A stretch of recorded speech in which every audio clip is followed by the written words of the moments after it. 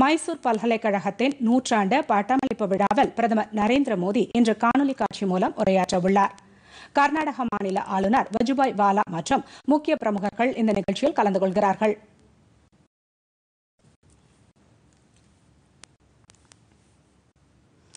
நாட்டிலேயே மிகவும் பழமை வாய்ந்த பல்கலைக்கழகங்களில் ஒன்றான மைசூர் பல்கலைக்கழகம் கர்நாடக மாநிலத்தில் அமைக்கப்பட்ட முதல் பல்கலைக்கழகமாகும்.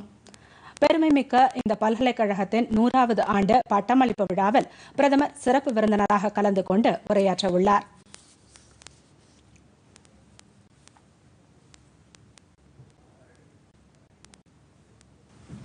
பொதிகை செய்திகளை யூடியூபில் தமிழ் நியூஸ் தூர்தர்ஷன் என்ற சேனலிலும் முகநூலில் டிடி பொதிகை நியூஸ் என்ற பக்கத்திலும் ட்விட்டரில் டிடி நியூஸ் சென்னை என்ற பக்கத்திலும் இன்ஸ்டாகிராமில் டிடி பொதிகை நியூஸ் என்ற பக்கத்திலும் காணலாம். மேலும் உங்கள் கருத்துக்களை Podhigai DD news at Gmail dot com என்ற மின்னஞ்சலில் தெரிவிக்கலாம்.